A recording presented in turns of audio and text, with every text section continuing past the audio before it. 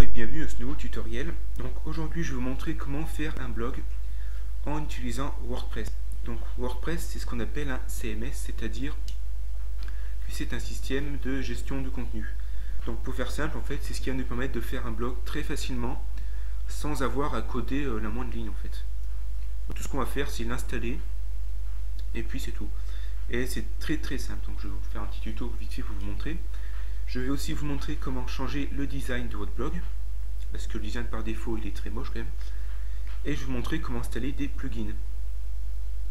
Donc là, pour vous montrer un petit exemple, mon blog tutoriel vidéo tourne sur WordPress. Donc euh, voilà quoi ça ressemble. Il y a une interface d'administration qui va vous permettre de faire des articles et de gérer un peu tout le blog. Et puis à peu près tout en fait. Donc là je vous montre vite fait à quoi ça ressemble. Très très simple. Donc la première chose à faire, c'est d'aller télécharger la dernière version de WordPress. Donc pour ça, vous tapez WordPress dans Google, vous recherchez, vous allez sur le site euh, francophone qui est très bien, et vous allez télécharger la dernière version de WordPress. Donc euh, l'heure où je parle, c'est la version 2.8.6. Donc en fait, les versions sont euh, sont mises à jour assez souvent quand même. Vous enregistrez le fichier au bureau par exemple. Donc moi j'ai déjà fait et il est ici. Une fois que vous avez fait ça, vous avez un fichier zip qu'il faut extraire. Clic droit extraire. Si vous êtes sur Windows, c'est sensiblement la même chose. Et vous avez un dossier WordPress qui créé. Dans ce dossier WordPress, vous avez plusieurs choses. Donc vous avez plein de fichiers, sauf que ça, il ne faut pas s'en occuper pour le moment. Et maintenant, c'est là que dans le tuto, ça va être différent de chez vous. Donc, dans le tuto, je vais travailler en local, c'est-à-dire sur mon ordinateur, tandis que chez vous, vous allez sûrement travailler euh, sur votre serveur web. Donc, je vais vous montrer vite fait comment on fait avec un FTP. Donc, j'ouvre mon client FTP qui est FileZilla. Donc, logiquement, chez vous, vous avez à peu près la même chose. Je me connecte à mon serveur.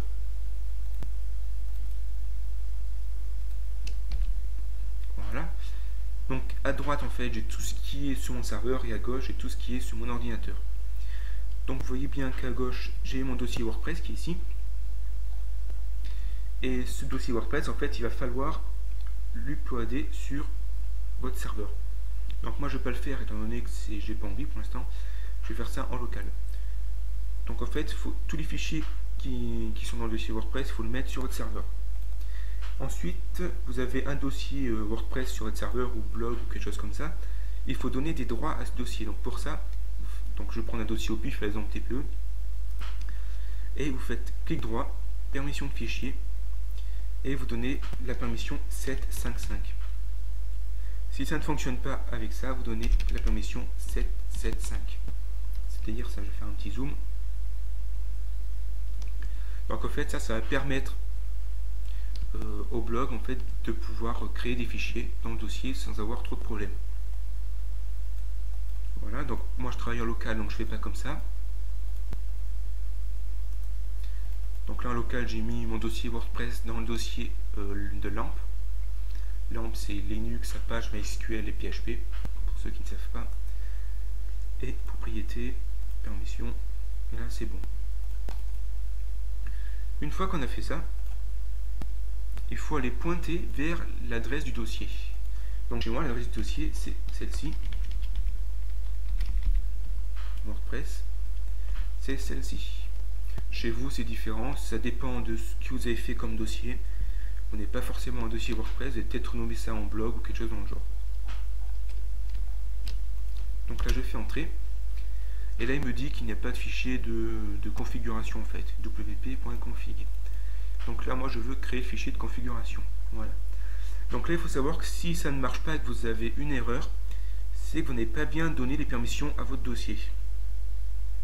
Euh, comme précédemment, en fait. Donc si ça ne marche pas, c'est à cause de ça. Donc maintenant, il faut les retourner un peu en arrière. J'aurais dû le faire avant, mais j'ai oublié. Désolé. Mais c'est pas grave. Vous allez sur PHP MyAdmin. Et vous, vous devez créer une base de données qui s'appelle euh, comme vous voulez en fait. Donc moi j'ai déjà créé une base de données qui s'appelle WordPress, qui est ici. Pour créer une base de données, il y a un plus simple, vous connectez à phpMyAdmin. Au milieu, vous avez un petit formulaire créer une base de données.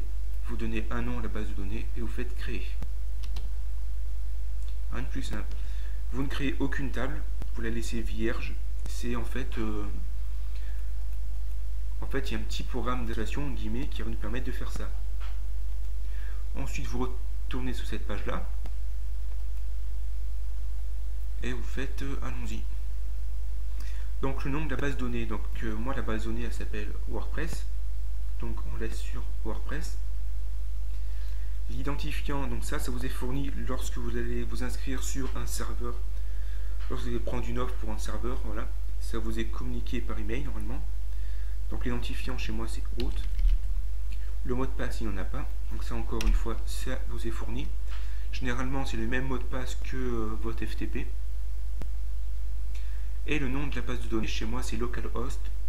Dans la plupart des cas c'est localhost aussi. Sinon ça vous est aussi fourni lorsque vous avez créé votre compte chez votre hébergeur en fait.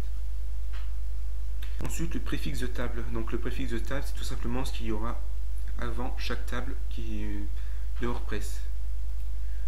Donc si vous connaissez un peu en, en, comment dire en, en PHP en SQL, vous allez de savoir de quoi je parle. Donc là par exemple, j'ai les tables d'un forum en PHP. Et vous voyez bien en fait que devant chaque table il y a PHP BB. Et ensuite le nom de la table. En fait, elle court pas être pareil et vous pouvez définir ceci. Donc c'est pas une option euh, cruciale en guillemets. C'est utile si vous voulez installer plusieurs blocs sur le même hébergeur. Vous faites par exemple WP1, WP2, ainsi de suite. Pour bloc 1, bloc 2, bloc 3, et ainsi de suite. Donc si vous ne savez pas trop ce que c'est, vous laissez par défaut, ça fonctionne correctement. Voilà, vous faites valider. Et maintenant, il me dit que c'est pratiquement terminé. Donc on lance l'installateur. Donc là, il faut donner un titre au blog. Donc moi, je vais l'appeler tutoriel vidéo. Et vous allez donner votre adresse email. Donc moi, je vais marquer, je sais pas quoi, adresse, adresse.com, je sais pas quoi. Donc là, vous faites bien attention de mettre votre vraie adresse email. Ensuite, vous laissez cocher cette case, sinon votre blog ne sera pas référencé par les moteurs de recherche. Et vous faites installer WordPress. Donc ensuite, une étape très importante, c'est le mot de passe. Vous devez absolument le marquer quelque part. Donc faites bien copier. Identifiant admin, c'est par défaut, sauf que le mot de passe est vraiment très compliqué à retenir, donc vous le notez bien quelque part. je vous conseille de faire copier, vous le copiez bien, faites bien gaffe que c'est bien copié quand même. Je me répète, mais bon, c'est très important. Et vous faites se connecter. Lors de la connexion en identifiant, vous mettez admin et au mot de passe vous faites un coller. Et là ça fonctionne. Donc là vous ne faites pas retenir vos mot de passe. Première chose à faire c'est vous avez un truc en rouge là. Vous faites oui je veux aller modifier mon profil maintenant. Et surtout le mot de passe qui est très compliqué. Donc on va mettre un mot de passe plus simple. Donc moi je vais mettre tuto par exemple. Vous mettez un mot de passe plus simple mais pas non plus trop simple.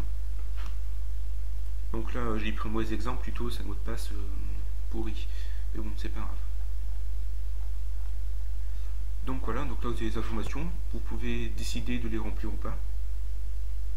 Donc identifiant, apparemment, vous ne pouvez pas le modifier, vous mettre votre nom, votre prénom, votre pseudonyme, donc le pseudonyme, euh, bah, c'est pas obligatoire non plus, quoi que si c'est obligatoire. Donc vous pouvez mettre ce que vous voulez. Le nom affiche publiquement, ça sera le nom qui sera euh, affiché lorsque vous faites des articles, par exemple ici. Vous voyez bien posté par admin dans hightech. Donc admin c'est le nom qui sera affiché. Donc c'est ici qu'il faut choisir.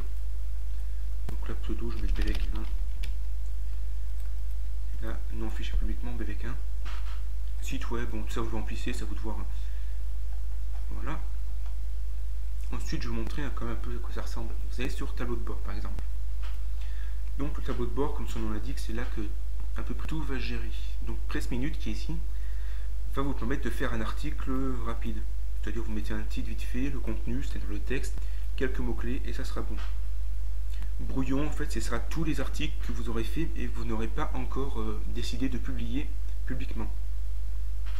Ensuite, là, il y a quelques articles qui sont en anglais qui concernent WordPress. La même chose pour des articles en français. Donc, vous pouvez, aller voir, par exemple, c'est des trucs euh, vous, euh, vous disant les dernières mises à jour, et trucs comme ça. C'est assez sympa. Ensuite, là, vous avez une liste des extensions populaires. C'est pas franchement utile pour le moment. Là, vous avez les liens entrants. Donc ça, je sais pas ce que c'est trop. Je sais pas trop ce que c'est ce truc-là en fait. Ça doit les liens qui pointent vers votre blog. Et là, vous avez les commentaires récents. Et bien entendu, un petit truc de statistique, par exemple le nombre d'articles, le nombre de pages, le nombre de commentaires et tout ça. Donc vous pouvez déplacer ces trucs comme ça pour agencer votre blog de la manière dont vous voulez. Vous pouvez même supprimer.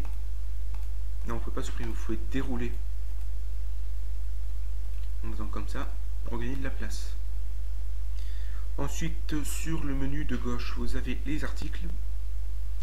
Donc si vous faites ajouter un article, vous avez la possibilité de créer un article, mais de manière un peu plus, on va dire, compliquée que celui-là que je vous ai montré tout à l'heure. Donc c'est un peu plus compliqué que le press minute. Donc ça c'est pour faire un article assez long. Ici vous avez tout ce qui se concerne la mise en page, donc en gras, en italique, en barré, les listes à puces, pour citer du texte, tout ça. Vous avez même un onglet HTML si vous voulez vous-même en fait modifier le code HTML. Donc ça c'est pour les connaisseurs.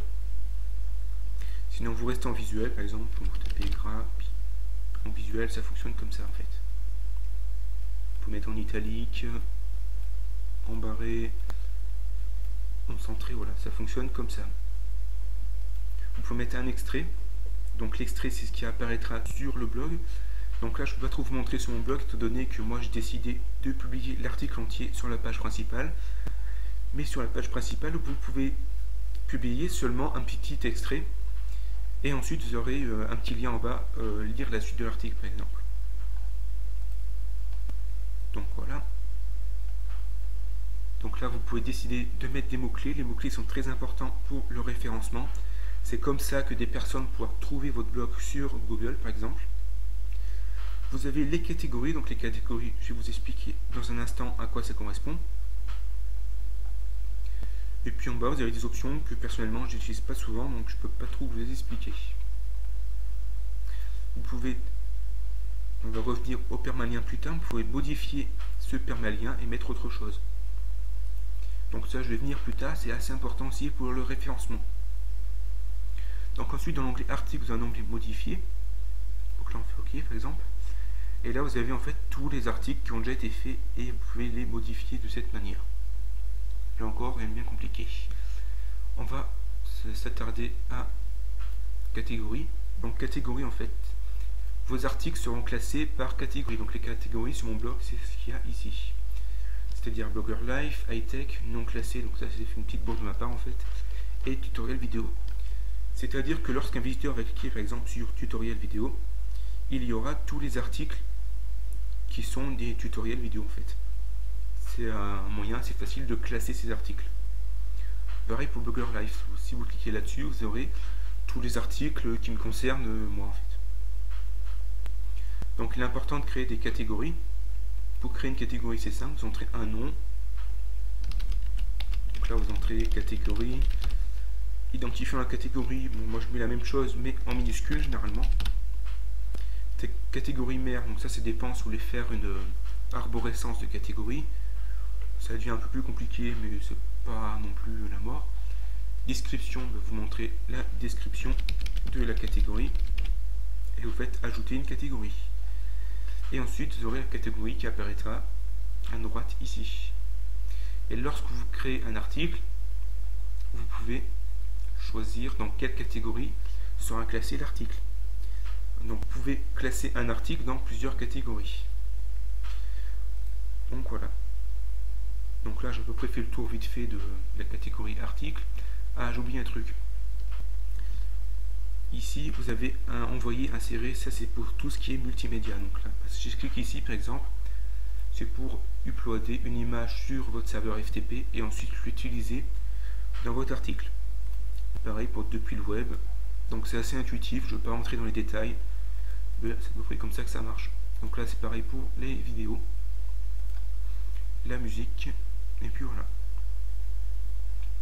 Donc ensuite avez la catégorie média. Donc là je vais en parler vite fait. Donc en fait ça c'est tout ce qui est bibliothèque multimédia, c'est-à-dire toutes vos images que vous avez envoyées sur votre blog. Et vous avez un résumé, en fait vous avez euh, toutes les images, les liens, tout ça. Donc là étant donné qu'il n'y a rien, je ne peux pas trop vous montrer. Les liens, les liens c'est aussi assez important. Les phrases françaises. Donc en fait les liens ça correspond, c'est ce que j'ai ici en fait sur la, droite. Donc en fait les liens c'est tout ça, sur mon blog. Et vous constatez, voilà, c'est ça, vous constatez que mes liens sont classés par catégorie là aussi. Donc une catégorie j'y vais souvent, une catégorie mes autres sites et une catégorie partenaires. Vous pouvez créer des catégories de liens, donc ça ressemble aux catégories euh, qu'on a vues précédemment. Donc euh, bon, vous pouvez faire comme vous voulez. Et vous pouvez ajouter des liens.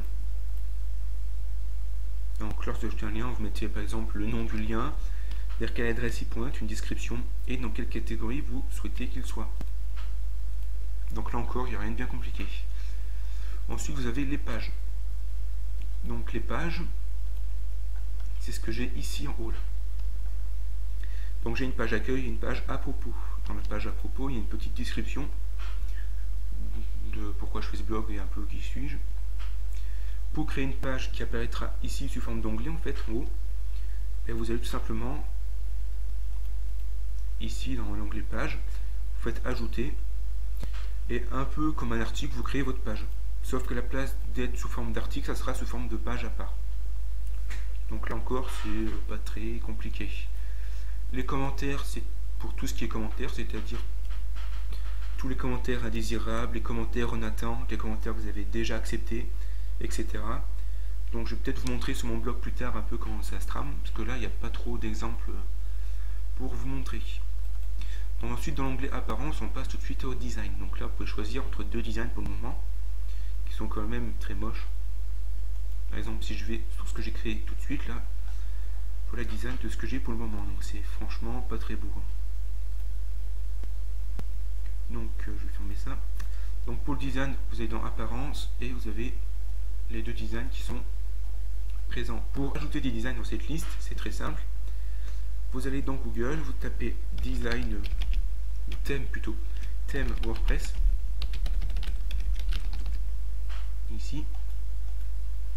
Et vous avez des thèmes qui sont gratuits. Par exemple, euh, je sur le premier site qui me tombe sur la main, là, voilà. Et vous avez des thèmes qui sont téléchargeables gratuitement. Par exemple, un thème pif, celui-là.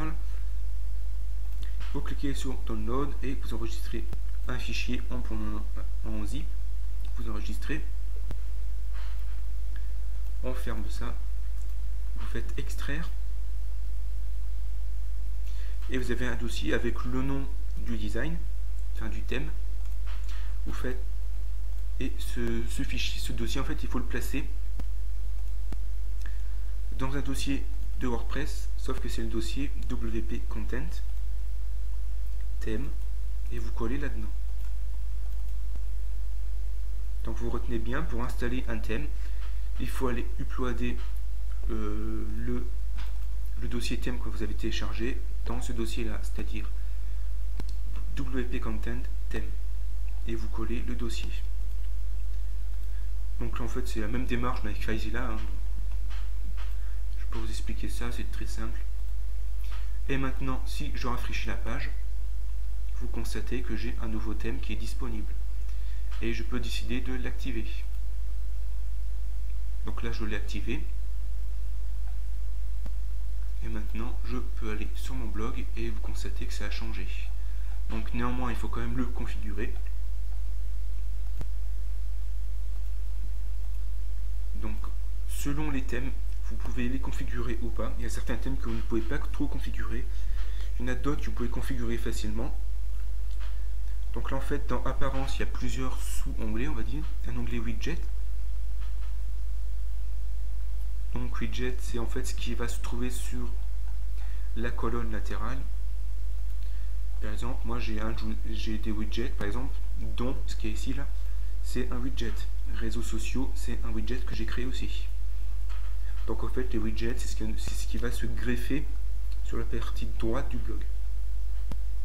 Donc un exemple concret, dans widget, archive par exemple, euh, tout ce qui a, pour faire simple, je vais revenir vite fait, tout ce qui est à droite c'est des widgets en fait. Vous constatez que là j'ai les catégories et que dans widget j'ai un widget catégorie que je peux glisser comme ça et que j'enregistre. Et si je rafraîchis mon blog, j'aurai les catégories ici. Vous pouvez créer des widgets avec du texte. Donc vous pouvez créer un widget texte. Vous mettez un titre. Vous pouvez mettre du code HTML même. Vous mettre des images et trucs comme ça. Vous tapez votre texte.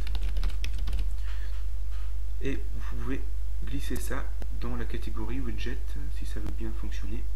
Donc là, voilà. Texte, voilà. Widget désactivé. Donc il faut que je le mette. Euh, voilà. Donc vous constatez que c'est quand même euh, franchement très simple d'utilisation. Donc maintenant, si j'actualise ma page du blog, constatez que j'ai un widget qui s'appelle titre avec comme contenu votre texte. Donc je rappelle, le code HTML est valable. valable. Donc voilà. Ensuite, vous avez un éditeur, ça on l'utilise très rarement, c'est un peu compliqué à utiliser. Donc ça c'est pour les personnes qui s'y connaissent, je ne vais pas l'expliquer vous pouvez ajouter du nouveau thème. Donc là en fait c'est les critères, euh, c'est les différentes options disponibles sur mon, sur mon thème. Donc on va mettre des trucs au pif.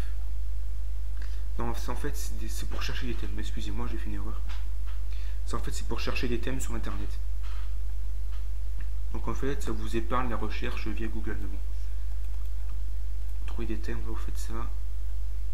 Vous pouvez installer automatiquement. vous pouvez installer de manière automatique. Donc par exemple, c'est dans options du thème que je voulais parler des, euh, options qui concernent le thème. Excusez-moi, j'ai fait un petit, un petit dérapage. Donc là par exemple, on constate que déjà mon ordi est bug, pour commencer, et que le thème il n'y a pas beaucoup d'options. Donc là, j'ai bugué, excusez-moi, je vais relancer le navigateur. Voilà. Donc on a fini avec l'onglet apparence. Dans extension, donc les extensions, c'est assez sympa aussi. C'est en fait, pour faire simple, ce qui va nous permettre d'ajouter des fonctionnalités supplémentaires à notre blog. Donc par exemple, une extension que je vous recommande d'activer, c'est celle-ci, Akismet. Je ne sais pas trop comment ça se prononce. Lorsque vous l'activez, en fait, ça vous permet de, euh, de contrôler les commentaires, c'est-à-dire euh, éviter les commentaires de spam. Les commentaires, tout ce qui est spam, va être automatiquement mis dans les indésirables. Et ça fonctionne assez bien. Je vais montrer plus tard avec mon vrai blog. Parce que au bout d'un moment, on reçoit vraiment une tonne de spam. On reçoit entre 10 et 20 spams par jour. Donc euh, trier 10 et, entre, entre 10 et 20 commentaires par jour, ça devient vite saoulant. Donc voilà. Pour installer des extensions, vous cliquez sur Ajouter. Et vous recherchez une extension. Donc par exemple, je veux une extension Qu'est-ce que je peux installer comme extension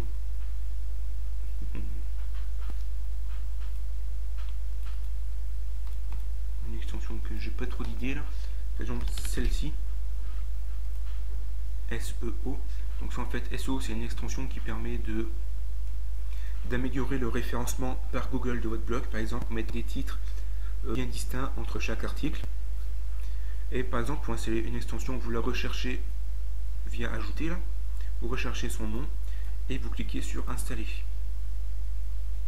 Vous faites installer maintenant. Donc là apparemment, étant donné que je suis en local, ça ne fonctionne pas, parce qu'il ne peut pas trop se connecter à internet. Mais normalement chez vous, sur votre serveur, ça fonctionne. Donc en fait c'est aussi simple que ça. Par contre, lorsque vous installez une extension, vous avez l'impression que votre navigateur euh, bug, c'est-à-dire qu'il est frisé et que ça ne ça n'avance plus. Donc en fait, il faut pas faut pas fermer le navigateur, ça peut tout faire planter. Il faut attendre 5 minutes et l'extension s'installe toute seule. Donc ça en fait c'est un conseil que je vous donne, c'est quelque chose que j'ai remarqué sur mon blog.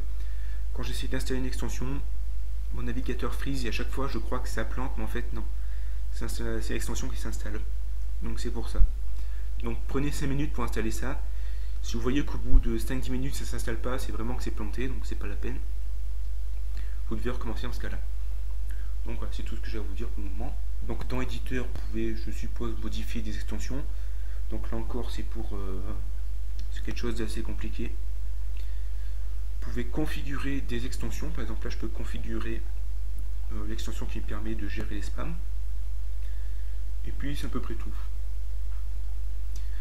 Euh, pareil que pour le thème, les extensions, vous pouvez les télécharger à part et les mettre dans un dossier extension. Donc je vous montrer vite fait quand même.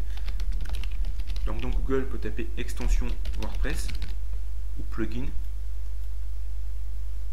Voilà, on va prendre un plugin au pif, hein, je ne sais pas quoi prendre. Euh, Par exemple, celui-là, il a l'air bien, je sais pas ce que c'est. Hein. Vous faites download, vous enregistrez ça sur votre bureau. Paf, paf. On dézip, extraire.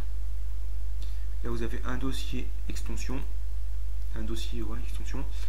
Ensuite, vous allez dans votre serveur FTP, dans le dossier WordPress, dans le dossier WP Content. Donc, à la même manière que pour thème, sauf que cette fois-ci, on va dans le dossier plugin tout simplement et on colle. Donc, chez vous, c'est via votre serveur, via votre client FTP que vous faites ça. Donc, tout ce qu'il y a à retenir, c'est le nom du dossier en fait. Donc, WP Content plugin. Et quand je fais ça, et que je vais dans mon blog et que je rafraîchis la page, vous avez une extension qui est apparue ici. Et j'ai oublié de préciser que lorsque vous avez installé une extension, c'est pas pour autant qu'elle est activée. Donc pour activer une extension, vous cliquez sur activer tout simplement et elle s'active. Donc là apparemment il y a mes messages rouges donc euh, ça bug un peu. C'est tout simplement que cette extension ne doit pas être prévue pour travailler en local c'est tout. Donc on a fini avec l'extension. Dans l'utilisateur, vous avez tout ce qui concerne euh, les utilisateurs, c'est-à-dire que plusieurs utilisateurs peuvent créer, peuvent faire des articles dans un blog. Donc ça après c'est à vous de gérer. Dans outils, vous avez euh, importé, je sais pas trop ce que c'est. Exporter non plus. J'ai jamais utilisé ce truc là en fait. Mettre à jour c'est important aussi. Donc mettre à jour en fait, euh, lorsque vous avez une nouvelle version de WordPress qui sera, euh, qui sera présente, vous aurez un petit bandeau ici en haut vous disant qu'il y a une nouvelle version de WordPress qui est disponible. Donc vous pouvez l'installer automatiquement ou télécharger le pack de mise à jour. Donc euh, l'installation automatique chez moi ça plante une fois sur deux. Donc avant de faire une mise à jour, c'est un conseil que je vous donne, faites une sauvegarde de votre base de données et de tous vos fichiers euh, WordPress. C'est très important.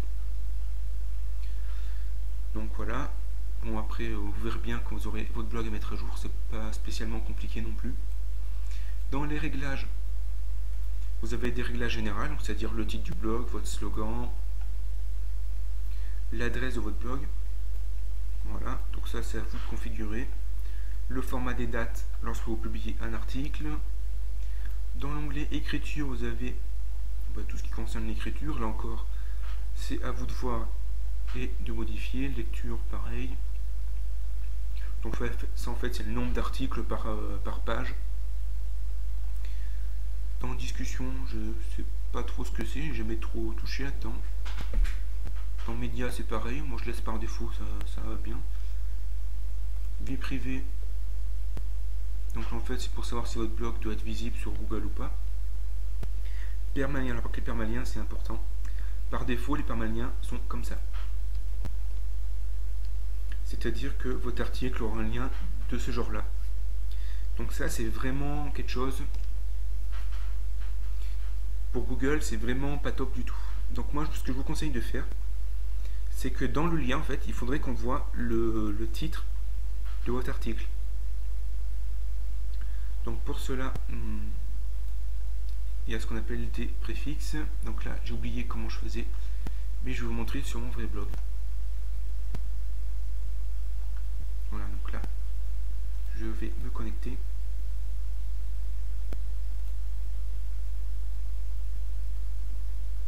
Donc là, je vous montre sur mon vrai blog ce que j'ai oublié comment j'ai fait en fait. Excusez-moi, je voudrais un peu plus préparer ce tuto quand même.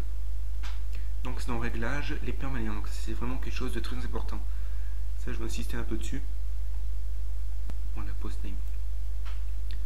Donc en fait, vous allez constater quelque chose. Je vais vous montrer avec un exemple concret parce que c'est quelque chose de difficile à comprendre. Donc là, par exemple, vous voyez en haut, j'ai une adresse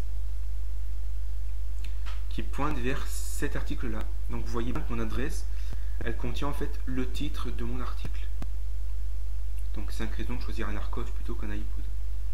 Sauf que par défaut, euh, les liens sont tout pourris, c'est-à-dire que les liens sont comme ça. Ça ressemble à un truc du genre euh, WordPress, ça ressemble à un truc euh, LP égale 12, un truc comme ça, un truc dans le genre. Donc vous voyez bien que en étant visiteur, vous voyez ça, vous savez pas ce que c'est en fait. Vous savez pas du tout ce que c'est, et pour Google, c'est vraiment pas bon du tout. Donc en fait, il faut absolument changer ça. Et pour changer ça, il faut aller dans les réglages, les permaliens, choisir. Donc la valeur par défaut, elle ne va pas du tout. Ça, ça, je vous déconseille fortement. Vous allez dans structure personnalisée et vous mettez ceci. Post name. Et ça en fait, ça, vous permet de créer des liens personnalisés. C'est-à-dire qu'en en lien, vous mettez le nom, le, le titre de l'article dans le lien. Comme ça, Google, quand il va référencer votre page, vous allez, déjà avoir des mots-clés dans votre lien. Donc ça, c'est très bon pour Google et c'est très bon pour les visiteurs aussi. Vous pouvez aussi mettre avec les dates. Donc les dates, je vous le conseille plutôt pour tout ce qui est euh, article d'actualité. Si vous faites un article, par exemple, si vous faites des, articles comme euh, les miens, c'est-à-dire des tutoriels vidéo, j'ai décidé de ne pas mettre les dates, tout simplement pour une raison. C'est que quand quelqu'un cherche une information sur Google, qui trouve un tutoriel et qui voit une date, par exemple, un tuto qui date de 2008, il va se dire ce tuto il est vieux, je peux pas regarder. Donc moi en fait, juste mis le titre, comme ça il n'y a pas de date, et le visiteur va quand même regarder le tuto, même si le tuto est vieux. Donc en fait, c'est une petite astuce comme ça. Donc ça, c'est plus pour du référencement après. Donc je vous explique vite fait comment ça marche puis c'est tout. Voilà. Ensuite, vous avez, donc là c'est mon blog à moi, donc je vais retourner sur mon blog en local. Vous avez un onglet divers, donc là, il n'y a rien de bien, pas trop regarder ce qu'il y a dedans, je peux jamais modifier ça. Voilà. Donc là, je vous expliquais un peu comment on faisait pour euh, faire un blog en WordPress. Je pense que j'ai été assez complet dans ce tuto quand même. Je vous ai montré pas mal de choses. Donc je vais revenir vite fait avec euh, un exemple concret, c'est-à-dire mon blog. Donc par exemple, vous voyez bien que là, le tableau de port, il prend tout son sens. Vous avez une liste, euh, une to-do list, c'est-à-dire ça, c'est un plugin que j'ai installé, je fais une liste des futurs tutos que je vais faire. C'est un plugin. Là, vous avez mon nombre d'articles, les commentaires, les indésirables. Donc les indésirables, ils sont automatiquement mis dans une corbeille via le plugin Akismet que je vous ai montré tout à l'heure. Donc voilà. Ensuite, vous avez tous les commentaires récents que j'ai là. Vous avez les, euh, les, brouillons récents. Et puis voilà. Ensuite, dans thème, je vous montrer vite fait. Donc moi, dans thème, j'ai installé un thème euh, différent. Donc là, c'est le thème que j'avais essayé avant, comme vous avez pu le constater. J'ai gardé celui-là. Et puis voilà. Ensuite, dans les extensions, parce que moi j'en ai pas mal, je vais vous montrer à quoi ça ressemble. D'ailleurs, là, il y a une mise à jour d'extension. Ça, c'est un exemple intéressant. Quand vous avez un petit, une petite bulle comme ça, côté extension, c'est qu'il y a deux mises à jour. Pour mettre à jour une extension, vous lancez la mise à jour automatique tout simplement. Donc là, je vais vous montrer comment ça fonctionne. Donc là, c'est Google XML Sitemap. Donc en fait, c'est un plugin qui permet de créer un flux XML pour le référencement pour Google. Donc vous voyez bien que j'ai un paquet d'extensions. Donc là quand je vous dis que ça frise, vous voyez là il n'y a rien qui se passe. La page, la page est en train de charger. Il n'y a rien qui se passe. Donc en fait, on a l'impression que ça bug, mais en fait, il faut attendre 5, minutes pour voir un peu comment ça se passe. Donc là, vous voyez qu'il a mis du temps avant de avant de me rediriger vers notre page. Donc nous, on a l'impression que ça bug, mais en fait, ça bug pas. Donc ça, c'est une astuce que je vous donne, parce que moi, je me suis fait avoir plusieurs fois comme ça. Donc là, vous voyez bien que j'ai des extensions. Donc là, j'ai Akismet qui me permet de gérer les, commentaires indésirables. J'ai Google XML Sitemap qui me permet de faire un sitemap en XML, c'est-à-dire euh, une liste de tous mes articles en fait. J'ai un truc euh, Sociable, ça en fait c'est pour euh, proposer un article sur Facebook par exemple. J'ai To-Do List, ça c'est ce que je vous ai montré tout à l'heure. WordPress Backup, ça en fait je reçois par email une backup, enfin des sauvegardes de mon blog là je reçois des sauvegardes de la base de données WordPress Related Post en fait c'est les postes relatifs c'est à dire ça. Donc en fait les postes relatifs c'est quand vous avez un article il va, il va proposer aux visiteurs des articles qui ressemblent. Donc ça c'est via les mots clés voilà.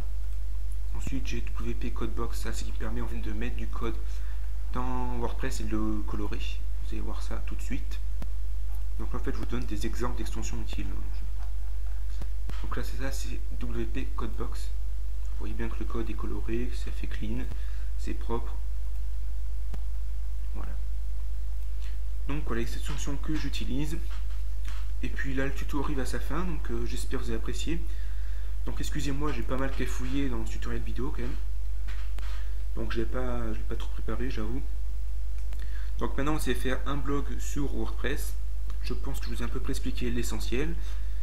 Et puis, si vous avez des questions, n'hésitez pas à laisser un commentaire sur le blog. Et puis, bonne chance.